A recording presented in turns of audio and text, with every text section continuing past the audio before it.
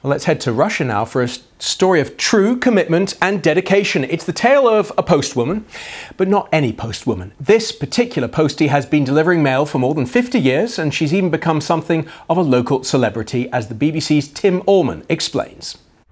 Yekaterina Duzalayeva has been doing this for a long, long time. 83 years old, trudging up and down the mountainous roads of North Ossetia a round trip of roughly 40 kilometres, which she used to do six days a week. It's a career choice that stretches all the way back to World War II. My brother was sent to the front, and all the children rushed to get jobs at the post office. I told myself that when I grow up, I'll definitely become a postwoman. Yekaterina is a well known figure around these parts. People stop to give her a hug or even take a photo. We respect her age very much, especially considering it's a mountainous area.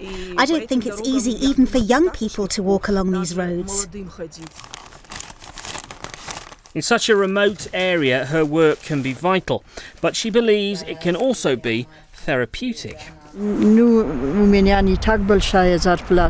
My salary isn't that big, but it helps me. I find it easier when I'm walking. I find it easier when I chat to people.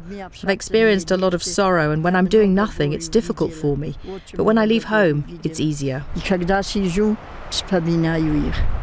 Yekaterina says people wait for her to bring the post, and they love her when she does.